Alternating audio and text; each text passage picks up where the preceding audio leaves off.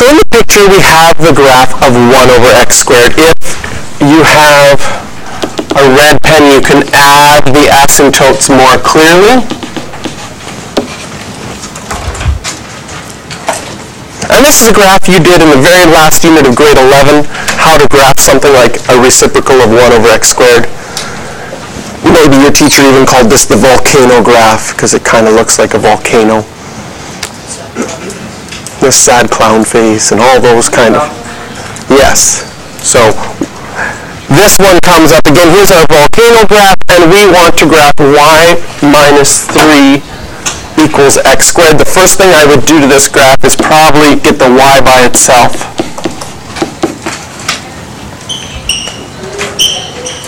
And so this isn't one of our original graphs. They've given us the base graph as a picture.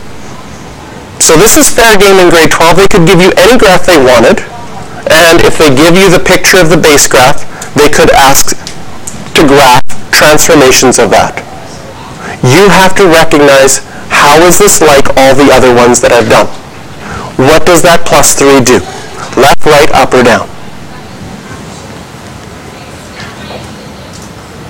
So for A, how would you describe that?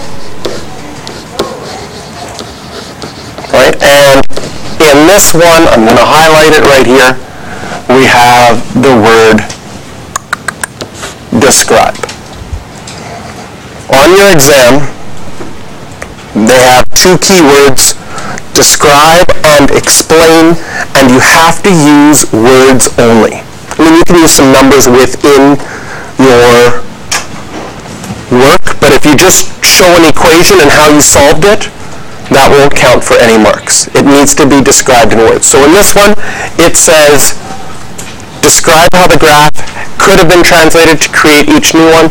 The graph, wow, wow, here we go. The graph would be translated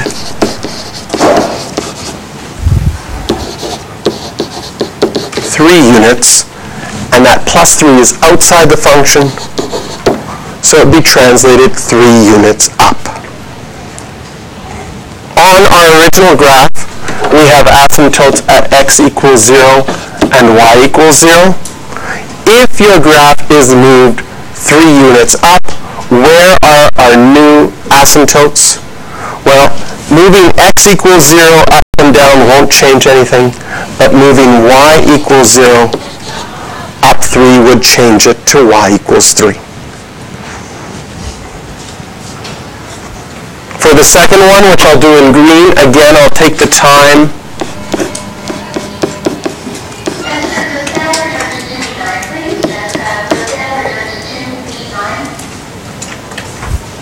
It's interesting.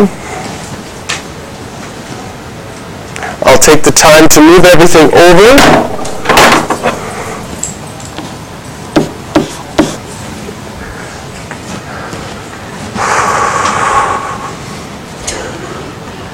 No, it doesn't show up on my computer either. So we've got, now we've got in green 1 equals, y equals 1 over x plus 3 squared, and then in white we have a little minus 4 here at the end. So now we're going to describe it. Well, or can't even slide down.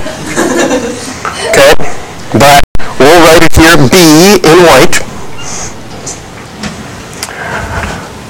The graph would be translated, and now that plus 3 would be 3 units left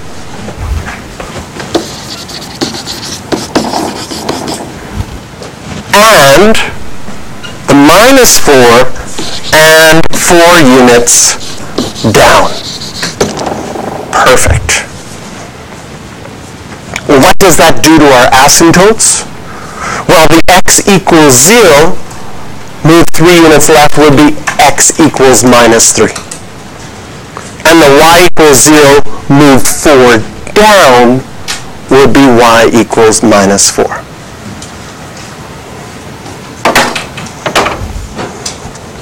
questions for practice on this one are 16 here in white and 17.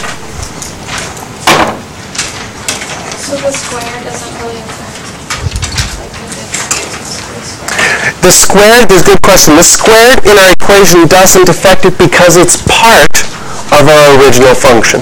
The only things that are, when I compare the 1 over x squared to the 1 over x plus 3 squared minus 4, the only thing that's different are the plus 3 and the minus 4, because the squared was in both of them. Just like in your square root sign, it doesn't matter that there's a square root sign later on too. But it just feels weird because it's an actual number now.